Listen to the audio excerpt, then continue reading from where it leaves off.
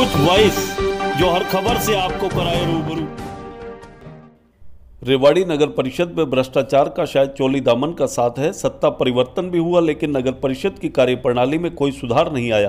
कांग्रेस के शासन से लेकर भ्रष्टाचार मुक्त शासन देने का दावा करने वाली भाजपा के शासन में भी भ्रष्टाचार के आरोप लगते रहे, लेकिन आज तक कोई कार्रवाई नहीं हुई। दर्जनों बार भ्रष्टाचार के मामले सामने आए, सरकार व प्रशासन द्वारा जाँच का राग भी अलापा गया, लेकिन कार्रवाई ज़ीरो ही रही। इधर केंद्रीय मंत्री राव इंद्रजीत सिंह भी नगर परिषद में भ्रष्टाचार को लेकर कई बार आगाह कर चुके हैं। बीते कुछ दिन पूर्व ही नगर परिषद के पार्षद भी एकजुट होकर राव इंद्रजीत सिंह के दरबार में पहुँचे और उन्होंने नगर परिषद में भ्रष्टाचार पर अंकुश लगाने की गुहार लगाई। बताते हैं कि राव इंद्रजीत सिंह ने भी चेयरपर्सन पूनम यादव को बुलाकर इस मामले में फटकार लगाई, लेकिन भ्रष्टाचार नहीं रुका। अब भ्रष्टाचार का ताज़ा मामला प्रकाश में आया है। इस मामले में देखा जा सकता है कि नगर परिषद के अधिकारियों के साथ पिता भी भ्रष्टाचार का नेटवर्क चला रहा था। रेवाड़ी के विकास नगर निवासी जगदीश ने अपनी शिकायत में कहा है कि उनके चाचा को अपने बेटे राजेश के नाम से एक प्लाट की टीपी ट्रांसफ़र परमिशन के लिए आवेदन करना था। इसके लिए उन्हें नगर परिषद के बाहर सीएचसी से ऑनलाइन अप्लाई कर दिया, लेकिन जवाब नहीं आया। जब रजिस्टर देखा तो फ़ाइल सभी अधिकारियों के पास भेजी जा चुकी थी। फ़ाइल को अधिकारियों ने चार से पाँच बार रिजेक्ट कर दिया। आरोप है कि एमई सोहनलाल ने दो लाख रुपए में काम हो जाने की बात कही और घर बुलाया। घर पर एमई सोहनलाल के पिता जन स्वास्थ्य विभाग में बतौर एसडीओ कार्यरत नंदलाल मिले। शिकायतकर्ता ने दो लाख रुपए में बात हो जाने के बारे में बताया। नंदलाल ने फ़ोन पर एमई सोहनलाल से बात की और शिकायतकर्ता जगदीश का काम करने को कहा।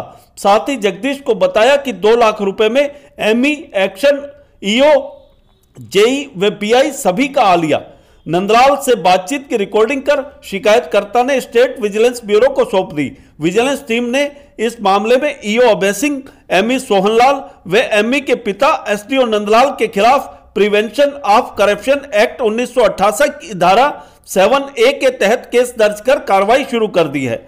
इससे पूर्व नगर परिषद के ठेकेदार शीशराम ने भी बिल पास कराने के नाम पर कमीशन लेने के आरोप लगाए थे। मामला काफ़ी सुर्खियों में रहा। जाँच कराए जाने की बात कही गई। कष्ट निवारण समिति की बैठक में सामाजिक न्याय मंत्री ओम प्रकाश यादव ने भी इस मामले में जाँच के आदेश दिए। लेकिन हर बार की तरह नगर परिषद की जाँच कभी पूरी नहीं हो पाई।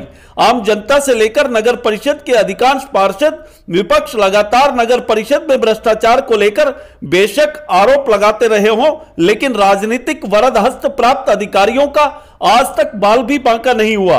बार बार अधिकारियों को मलाईदार पदों पर लगाया गया, जिन पर भ्रष्टाचार के गंभीर आरोप लगे थे। अगर सरकार भ्रष्टाचार मुक्त शासन देने का दावा करती है तो नगर परिषद की एक एक फ़ाइल को खगाला जाए। हर फ़ाइल में भ्रष्टाचार की बू नज़र आएगी। अब यह पहला मामला है, जब नगर परिषद के दो बड़े अधिकारियों के खिलाफ केस दर्ज हुआ है। लेकिन लोगों में अब भी संशय की स्थिति बनी हुई है कि क्या अधिकारियों पर कोई कार्रवाई अमल में लाई जाएगी, या फिर पहले की तरह मामले को ही ठंडे बस्ते में डाल दिया जाएगा। रेवाड़ी से न्यूज़ वाइस के लिए संजय कौशिक के साथ अजय सागर अत्री की रिपोर्ट। ये मामला एक प्रॉपर्टी आईडी को लेकर सात दिसंबर को मैंने एक प्रॉपर्टी आईडी लगाई थी और उस मामले में कमेटी वाले दो लाख रुपए मांग रहे थे। सात दिसंबर से मैं चक्कर काट रहा हूँ, चार महीने हो गए, लगातार मेरे को परेशान किया जा रहा था। और इसमें एम ई पूरा गिरोह है, एक नेटवर्क है जो इसमें सारे शामिल है, उसको लेकर मेरे से दो लाख रुपये मांगे।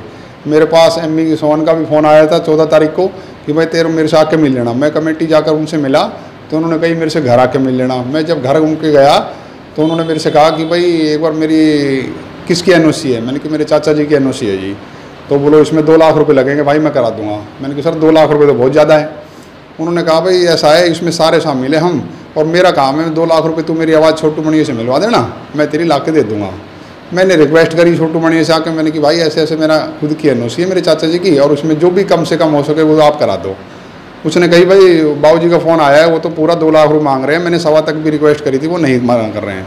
मैं उसके अम्मी सोन के घर गया, पचास हज़ार रुपये और लेकर, मैंने कि बाबू जी ऐसे ऐसे, चार महीने हो गए, मेरे को चक्कर काटते काटते इतनी बड़ी वो नहीं है, मेरी खुद की घर की है, कोई गलत काम थोड़ी ना करा रहे हैं। आप पचास और ले लो। बाबू जी बोलो, नहीं भाई, दो से कम काम नहीं होगा। उसके बाद मैं फिर अगले सत्रह तारीख को घर गया, ये अम्मी मेरे को वहाँ पर घर पर नहीं मिला। इसके पिताजी मिला। मैंने कि बाबू जी आप नंदलाल जो एस है, इसमें बावल वो कहने लगा कि भाई, जगदीश, किस लिए आया है? मैंने कि मैं एनओसी के लिए आया हूँ। मैंने कि बाबू जी आप थोड़ा सा मेरी अप्रोच कर दो, मेरी एनओसी हो जाएगी।